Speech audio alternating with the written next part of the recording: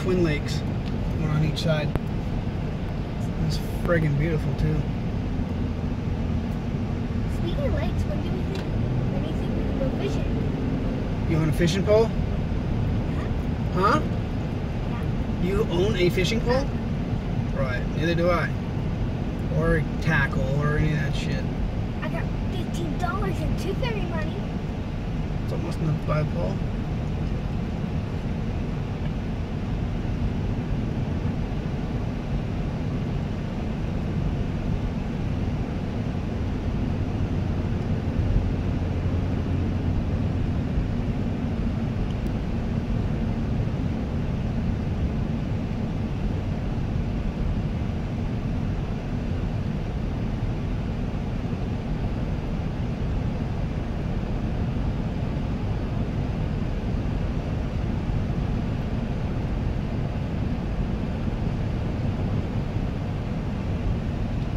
Thirty-five.